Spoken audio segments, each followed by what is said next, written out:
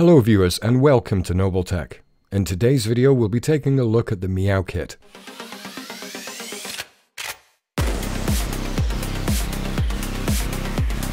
The Meow Kit by Whitecliff is a compact multi-purpose device designed for makers, hackers and developers who want power, portability and plug-and-play versatility. We're diving into a Kickstarter project that's got serious modular mojo.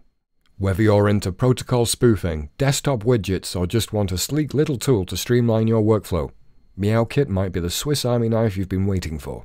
Let's take a closer look. Once again, I'd like to thank Whitecliff for sending out the MeowKit for review. Doing a quick little unboxing, we can see that they sent out a 32GB SD card, which I've already taken out there. In the box, we get a yellow cable tidy, a USB SD card reader, a little lanyard tag, a GPIO wire. I believe this is for restarting the device. And we also get a very, very substantial USB cable in the box. Very heavy duty. In the box was also this very nice looking letter. Thank you, MeowKit.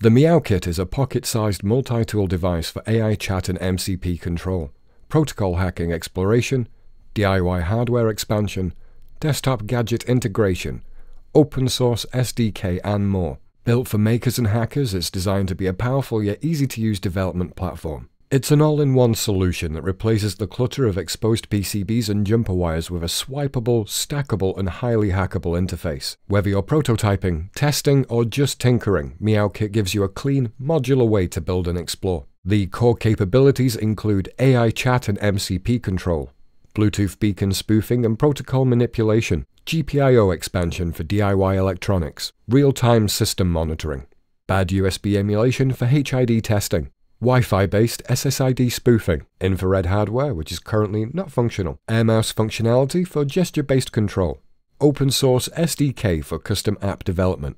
The Meow Kit connects via USB-C or Bluetooth and supports drag and run deployment so you can switch apps without reflashing. That's a huge win for rapid iteration and multi-role workflows. So once you've turned on the device, you press the A button, and then you press the B button, and we are into the device. So let's talk about the physical build and onboard features. The body of the MeowKit features a 3D printed enclosure that's lightweight and functional. It's designed for utility, not flash. It has a CNC machined 6061 aluminium lanyard loop, which adds durability and makes it easy to carry or clip to your gear. It has a large built-in screen that lets you swipe between applications, up, down, left and right, with no need for serial commands or external interfaces. It also has A and B buttons for interaction, they're a little stiff at first use, but soften over time. For connectivity, we have two USB-C ports. The one on the left for flashing, and the one on top for power. For charging, just plug in your USB-C cable and the red LED will turn on indicating charging. When the LED turns off, you know that the charging is complete. Additional onboard features include infrared. The hardware is present, but the firmware is still in development. Wi-Fi currently supports fake SSID spamming. Bluetooth currently targets iOS devices for spoofing. Bad USB for HID emulation. Air mouse functionality. You also have a dinosaur game much like the offline Chrome Classic. There's music playback, PC monitor for system stats, a VU meter for audio visualization, a retro TV app, a web serial interface, a Mac app, and optional NFC module which is planned for future release. The MeowKit is plug-and-play ready with transparent BSP drivers and a multi-app architecture that feels more like a mobile device than a traditional dev board. So let's take a look at the software. MeowKit ships with a multi-app launcher and an open-source SDK hosted on GitHub. You can build your own apps, flash them via USB, and switch between them without wiping the device. There are two firmware paths available, AI Chat and MCP firmware, focused on conversational control and protocol manipulation, this is ideal for spoofing, automation, and testing. There is also the MeowKit firmware, which enables the multi-app launcher and GUI-based experience, turning the device into a swipeable desktop gadget. Flashing the device is straightforward. You connect it via USB, select your COM port, and hit Program. You'll need to manually reboot after flashing, but the process is quick and well documented, so we'll go through that now. So going over to the MeowKit GitHub, if we scroll down the page, we can see the instructions. So getting started. To start the firmware update, first you need to download the firmware. So we go over to the documentation, we click on here, and we click Download Zip. Once you've downloaded the zip file, extract it. Once you've extracted those files, plug in your MeowKit via the USB-C port on the left. Once the device is plugged in, we go to the Espressif GitHub for the ESP Launchpad. We click on Connect, and then we select our device. Now for you, this number might be different. And then we click on Connect. Once we have connected, we then click on DIY. And then from the files that we downloaded before, we select bootloader, partitions, and MeowKit with these specific flash addresses. So it'll be bootloader, partitions, and MeowKit. So we select choose file, and then we select the bootloader file. Then we add another file, choose file, and partitions. And then we add one more file, choose file, and in this case, it's firmware rather than MeowKit. Going back to the GitHub, we can see that it's 00, 0, 8000, and 0, 10000. So the first one is 0x0, the second one is 0x8000, and the third one 0x10000. Going back to the GitHub to double check, we can see that it's bootloader, partitions, and MeowKit. Once we have the files selected and the correct flash address set, we then select Program.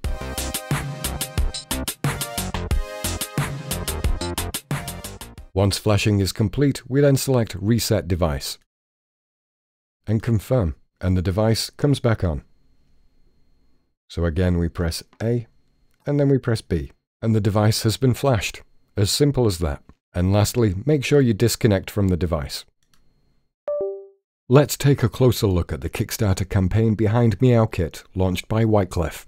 As you can see on screen, the Kickstarter campaign has already exceeded its initial goal of 5,480 euros and is currently at 43,739 euros as of the time of this recording, and they currently have 442 backers with 38 days to go.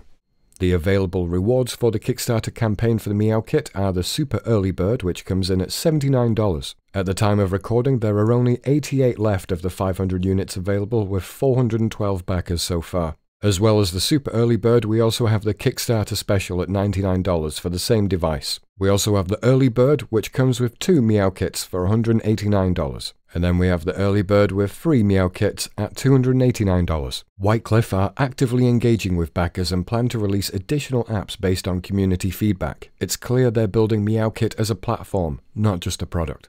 So looking at the use case, who is the Meow Kit for? If you're a cybersecurity researcher, you can use it for Bluetooth and Wi-Fi reconnaissance, bad USB payloads, and protocol fuzzing. If you're an IoT developer, you can expand GPIOs, monitor system metrics, and prototype without a breadboard jungle. And if you're a maker or educator, you can teach embedded systems with a GUI-based multi-app device that doesn't require constant reflashing. So my final thoughts. The MeowKit isn't trying to be everything, but it's trying to be enough.